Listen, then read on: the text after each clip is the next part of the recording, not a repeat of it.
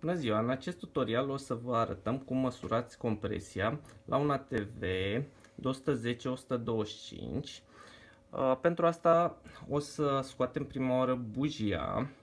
Uh, în locul bujiei o să înfiletăm uh, capătul de la acest manometru, care este special pentru măsurat compresia unui cilindru. Mai departe o să dăm la automat, dar cu accelerația ținută la maxim. Deci să ține accelerația la maxim pentru a permite aerului să intre pe carburator la maxim.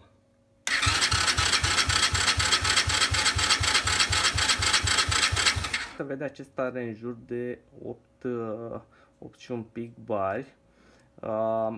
Este exact cum scrie în uh, manual acesta fiind nou, uh, dar după experiența noastră, undeva în jur de 6, 6 jumătate, trebuie segmentat.